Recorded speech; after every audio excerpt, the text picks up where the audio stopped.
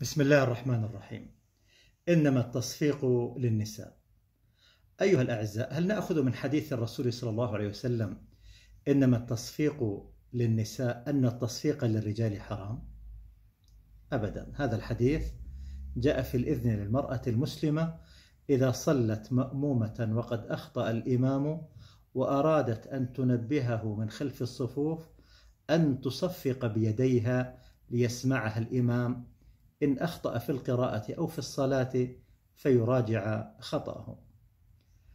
وفي الصحيحين جاء في الحديث من رابه شيء في صلاته فليسبح أي ليقل سبحان الله فإنه إذا سبح التفت إليه وإنما التصفيق للنساء.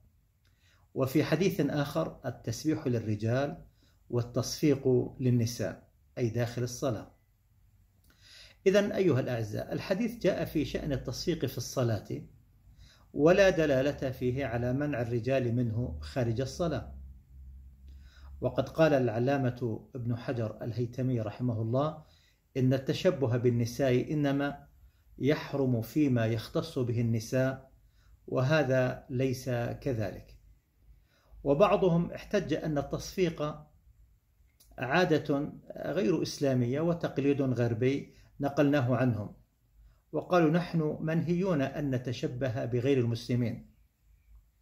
والجواب على ذلك أيها الإخوة أيتها الأخوات نعم نحن منهيون أن نتشبه بغير المسلمين ولكن فيما هو من خصائص دينهم أو ما يتعبدون به.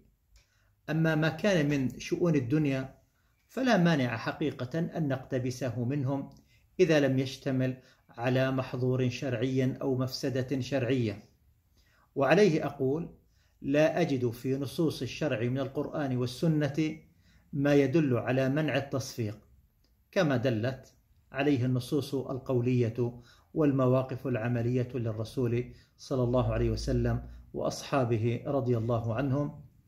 وما ذلك إلا لحاجة الفطرة الإنسانية إلى شيء من الترويح يخفف عنها لأواء الحياة وقسوتها وتشعب همومها وأعبائها.